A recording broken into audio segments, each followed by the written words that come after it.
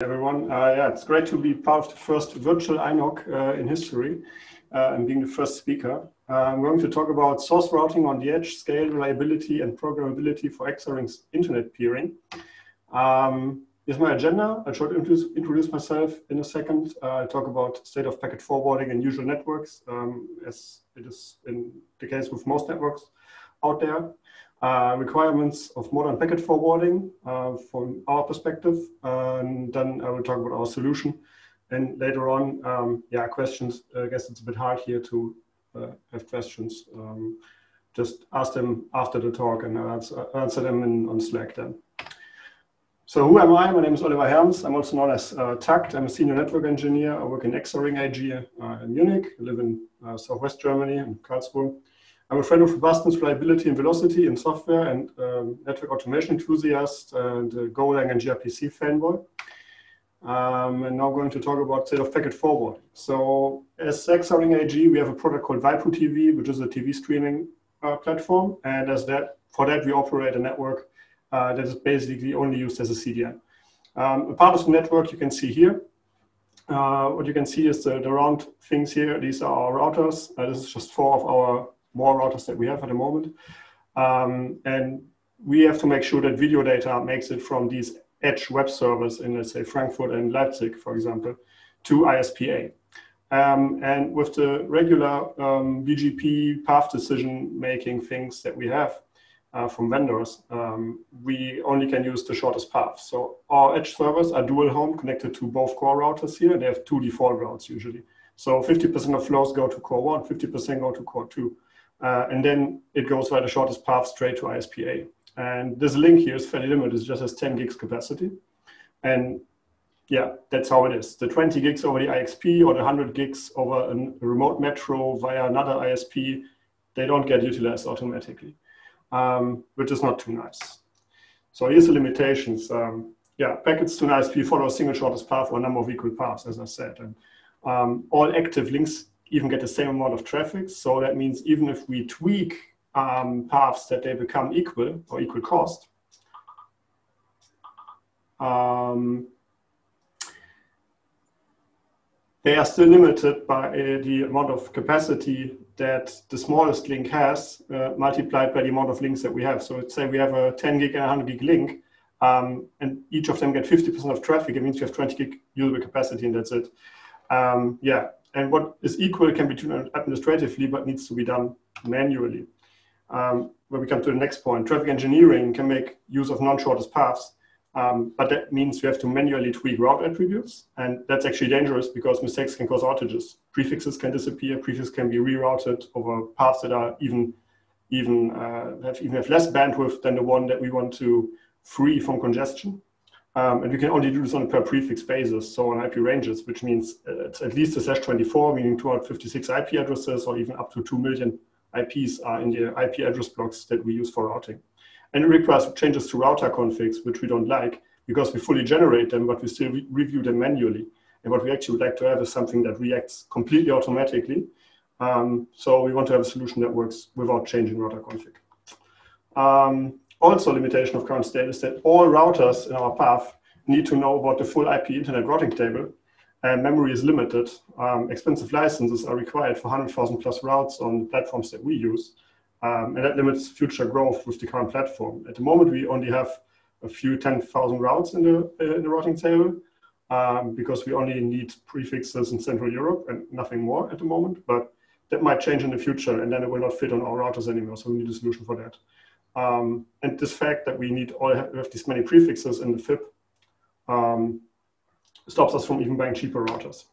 So here are requirements for solution that uh, we would like to have actually. So actually what we want is that traffic uh, utilizes all these paths in this graph that are marked red. So for example, first we want to fill the 10 gig line with directly with ISPA. We want to go to ISPA. If that is full, uh, we can then use the second cheapest link, which is uh, the link over an IXP, for example, here on the left-hand side. And if that also runs full, we wanted to automatically move some traffic over to uh, the remote metro Leipzig here, move it to ISPB, and let ISPB move it to ISPA.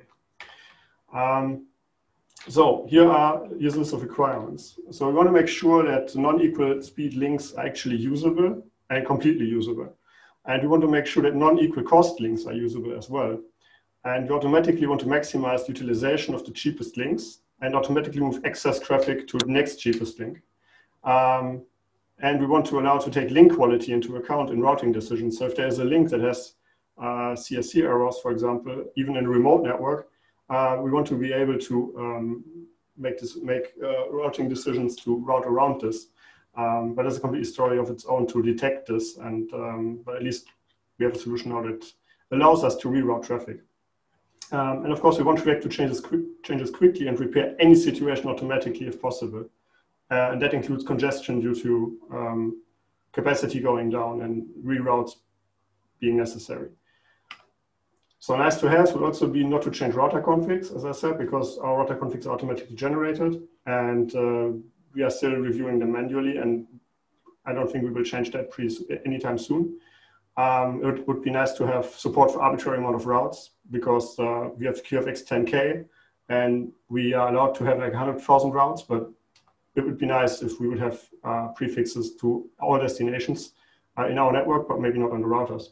Um, and it would be great to have uh, to, uh, a way to do traffic engineering on a per IP address basis and not just on a prefix basis because prefixes are too coarse. So here comes the solution. Um, solution is to let vendor routers forward the traffic still, but not route it, because routing is, uh, as, I, as, I, pointed out, is too inflexible to meet our needs on the vendor boxes. Um, so solution is actually source routing, so that the source of the traffic decide which path a packet takes.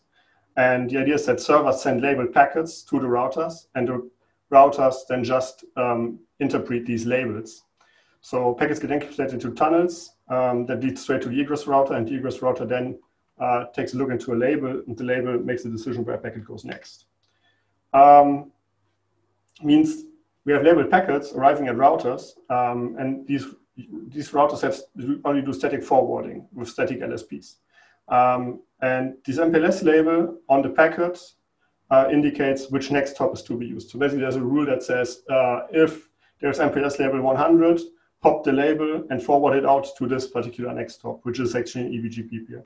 Um, and let the router ignore the IP routing table. So yeah.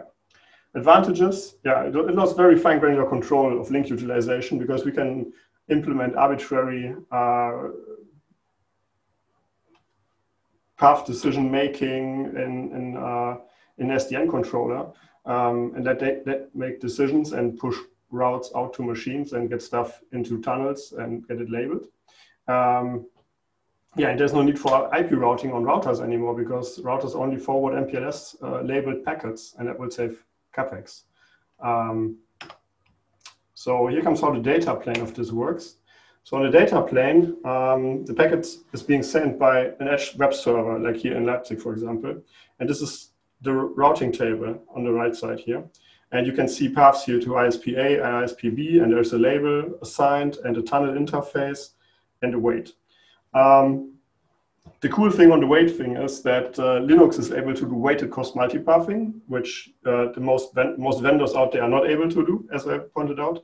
So um, this allows us to have like two paths to ISP-AB here, one with label 2000, one with label 2001, going to different routers and have a weight on them on 10 gig and 20 gigs, which means one third of traffic takes this path and two third of traffic will take this path. And this makes it possible to have actually 30 gigs usable capacity instead of just 20 with ECMP.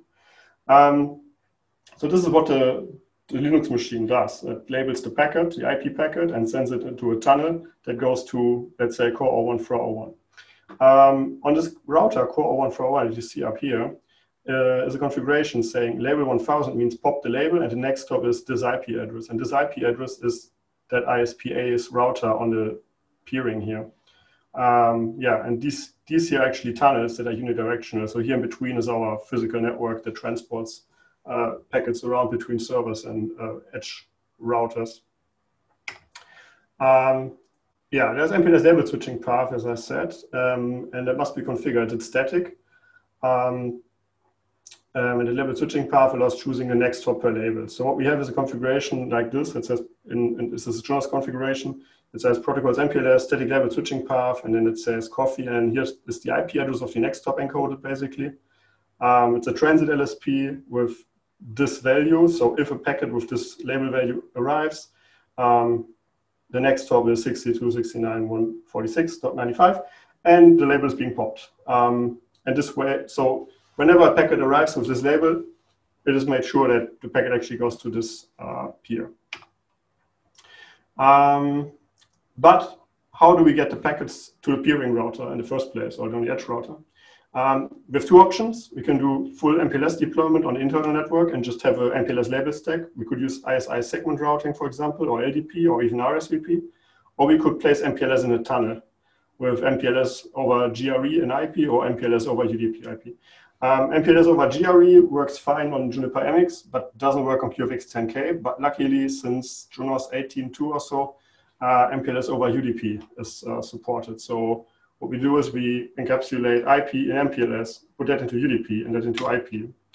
Um, so this is actually the packet stack um, as the packet leaves the machine. So first comes the IP address um, of the tunnel destination, which is core 1 for 1, for example. Then there's a UDP header that just says port 6635, which is the reserved port for MPLS and UDP.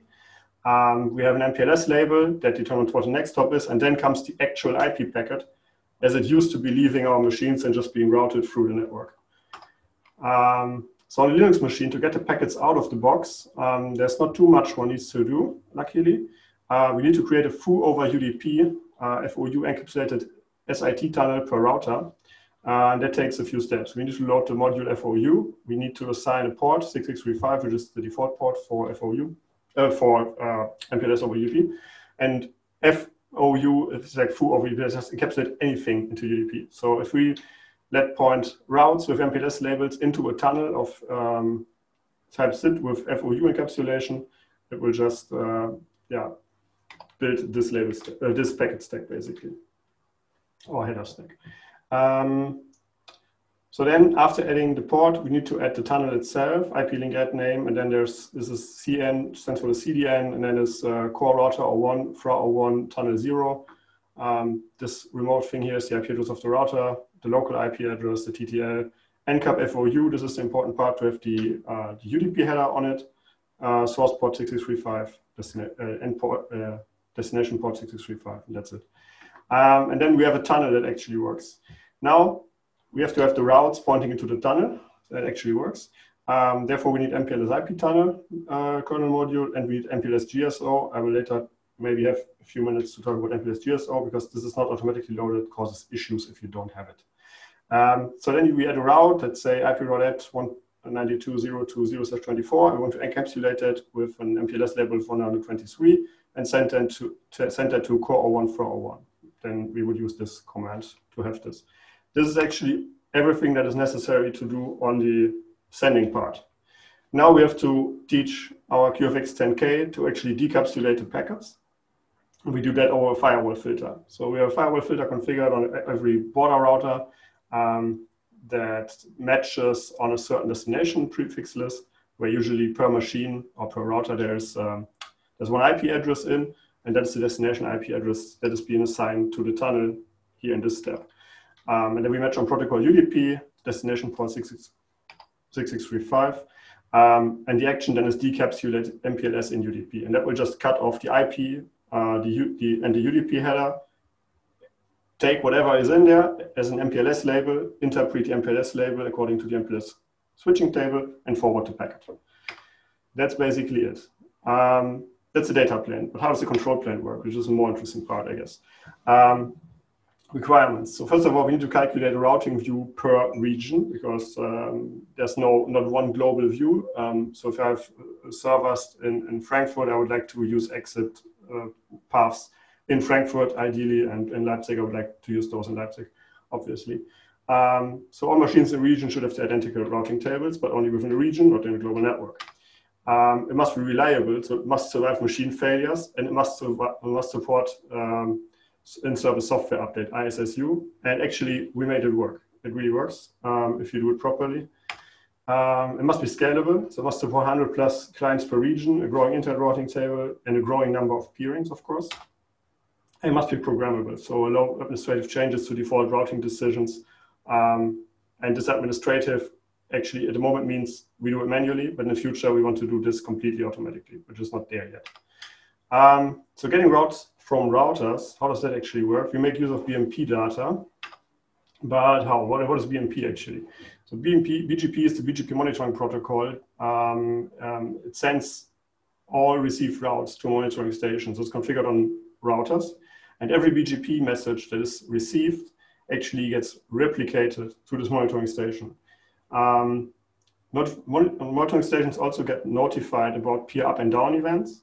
Um, and you can choose if uh, you want to have these updates pre or post policy. Post policy means everything that is rejected by a routing policy is not getting reported to the monitoring station. And that's what we use. We use post policy uh, because we have routing policy stuff and filtering going on there. And I need that uh, for the SDN world, of course, as well. So we use post policy. Um, we use the bio-routing route information service for this. Um, it's open source. Uh, you can find on GitHub com slash bio-routing slash bio-rd.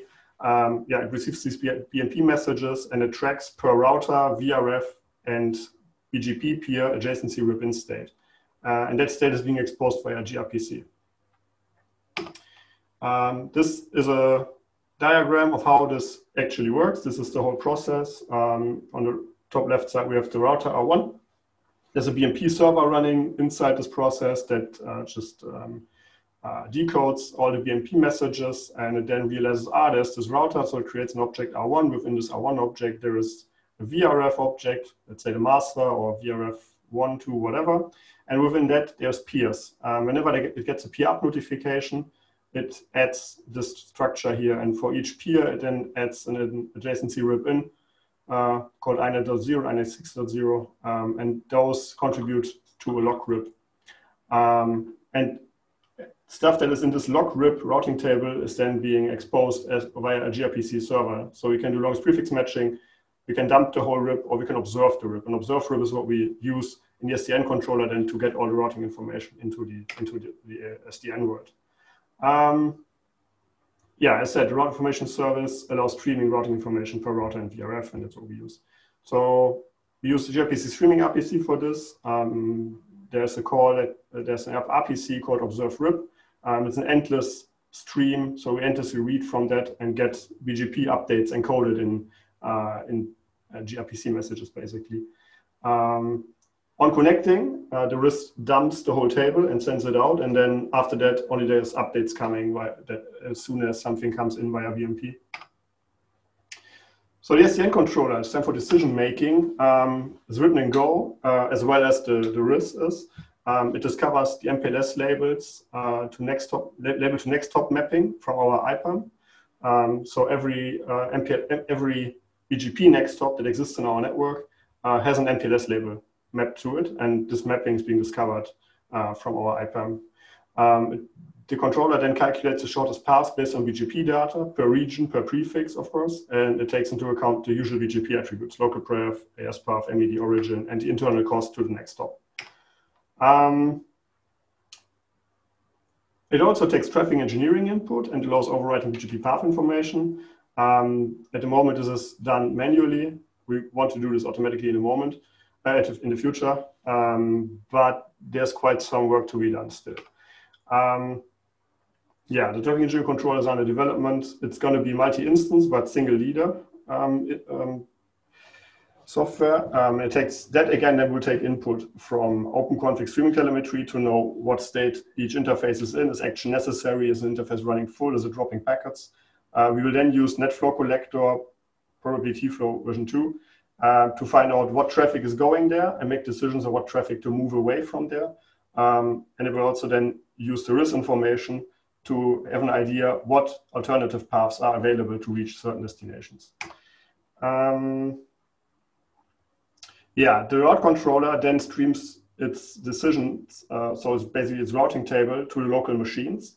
Uh, again, via gRPC streaming RPC, so it's an endless stream of information um, that just blocks whenever the updates are done and then this path decision being done and something changes, the update is getting sent out, just like with BGP basically. Um, and new clients receive a full dump, of course, um, so that they get the, the, their routing information when they come back up. Um, the route attribute that we are sending there is the prefix, um, the exit route has tunnel IP address, that MPLS label we want to place on the uh, on the on the route uh, and weight to uh, allow for weighted cost multipathing basically. And then there's the route agent. The route agent is on the uh, right hand side basically consuming then the routes um, from the SDN controller. It's also written in Go. Um, it makes sure that necessary kernel modules are automatically being loaded, so namely FOU, MPLS IP tunnel, and MPLS GSO. Um, it configures the tunnels to all routers, so it queries our data center inventory service to find out which routers exist in our network. And for each and every router that exists in the network, um, a tunnel is being established. Also, it maintains uh, the machine's routing table, so it receives the updates from the route controller and uses netlink to replace or delete routes in the Linux kernel. So this is the whole picture, basically. On the left, very left-hand side, we can see the routers. They send the BMP updates to the local RIS instances. Uh, in this example here, there's three. Practically, we will have two probably. Um, at the moment, we have two, so I guess we will say like that. Um, so the cores in Frankfurt, they send their routing tables via BMP to RIS1 and RIS2 in Frankfurt, and then there's the, the, the route controller, the RC, in Frankfurt that consumes from all the RIS uh, instances globally, because they should also know that they could send traffic from Frankfurt to Leipzig for traffic engineering reasons, so they're consuming from everyone. And then the route agents in Frankfurt, they are consuming from the local route controllers. And the basic idea is that the state in RIS1 and RIS2, RIS3 in Frankfurt is, is always the same in all of them. Either there's no state at all because it was down and still starting, or they are basically synchronized because they get the same, the very same input from the routers. And then the route controllers again get the very all get the very same input from the RIS instances, and they all execute the same algorithm, so they come to the same the to the same um, uh, to the same routing view basically. And they all stream it to the route agent, and the route agent then de-duplicates the information. Um, and then once the route is there, it gets programmed to the into the to the CDN routing table via a netlink. So we have a few minutes to talk about the issues we've encountered. So with the Go Netlink package, that's not official package, but it's uh, the one mentioned here, uh, we had the issue that we were not able to write multiple paths with MPLS encapsulation to the kernel um, because the encap attribute attached uh, was attached to the wrong object. Uh, there was a pull request. Uh, it's not waiting for merge anymore. Uh, it's merged. It's done. Uh, there was another issue with BMP in Junos. the router has sent incomplete BGP open messages in, in peer up notifications. Um, and it only did that when the peer router sends exactly four, uh, four byte ASN and add path capabilities. When we added another capability like route refresh, it was gone. Like there's no real explanation why it is that weird, um, and and never got an answer from the vendor why it is that why it is or was that weird. Um, and it was only happening when we used the allow from statement in Junos instead of neighbor statement. Um, yeah, so in the BGP open message, op uh, optional parameter were, were missing in the end under these conditions. And then we were not able to see that actually uh, add path was being um, uh, negotiated here. Um, so we failed on decoding some messages. Um, this is another funny thing. Uh, try, I, we've, config we've, configured hundreds uh, of LSPs on some of our routers, uh, the static LSPs we need for forwarding. And as soon as I have 100, uh, more than 100 on a QFX 10K, uh, and I do a show LSP brief, whatever, I don't remember exactly what command it was, uh, pipe display XML, I got invalid XML. That's just one closing MPLS static transit LSP brief tag here too much. Um, if I just remove that manually, it was valid XML again. Um, and then somebody on Twitter told me, yeah, why don't you use the JSON out? I was like, okay, pipe display JSON. And then suddenly, um, yeah, I just got locked out with a seg fault. Um, and I got, there was some Linux issues. So as I said, you need F MPLS GSO. Um, otherwise, the TCP over MPLS encap route is unusably slow, like 70 kilobytes per second, uh, on a route that usually made half, one and a half gigs.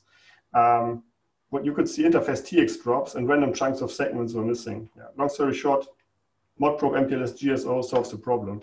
Um, then we had this issue recently that uh, I was not able to delete tunnels. Um, but deleting the tunnels is actually intended as a cleanup mechanism to reliably drop all SDN routes. So in, in case something goes terribly wrong and you want to stop everything, you just stop the the route agent, and the route agent will just delete all the tunnels. And because deleting the tunnels, it will drop all the routes. Unfortunately, in kernel 4.13, it may block forever with this message, um, waiting for tunnel name to be to become free usage count equals one, and it just blocks forever. Uh, the only thing that solves the issue is rebooting. Um, also interesting thing is that MPLS label routes um, are black holing on kernel 5.2. So we upgraded two boxes to kernel 5.2 and suddenly no traffic was coming out anymore. Just silent discards, no error counters. So we added a list of allowed kernels into the agent. So the agent only starts on kernel versions that we've uh, verified are actually working with this. And another funny thing is that multipath device only next hops for IPv6 actually are not supported on Linux. So you do IP-6 route replace, whatever, and then you have two next hops just with, a, with an interface um, because it's a tunnel. It's a point-to-point -point tunnel. There's no need to have next hop IP address. Um, you get the zero message. Device-only routes uh, can not be added for IPv6 using the multipath API. And then I Googled that phrase. And I found this really, I found an email basically that um, uh, where that patch was submitted um, that causes this message. Um, and that email, they wrote, really, IPv6 multipath is just FUBART beyond repair when it comes to device-only routes. So do not allow it all. Well, yeah, it's really fucked up. I checked the code and it's really fucked up, but I found a solution. Um, we can just add an next hop IP address here via FE80 colon colon one. That IP address doesn't exist on the, on, on the opposite side or anywhere. It just avoids having the message and actually it makes the thing work.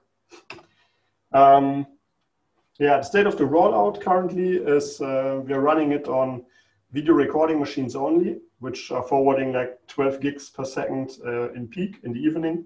Um, and we're pending deployment for dedicated SDN controllers at the moment. Um, and the traffic engineering controller uh, is also pending. Um, I guess that will be there in the next months. Yeah. So thank you very much. Um, I really made it in time. Um, I would like to give the word back to Donald.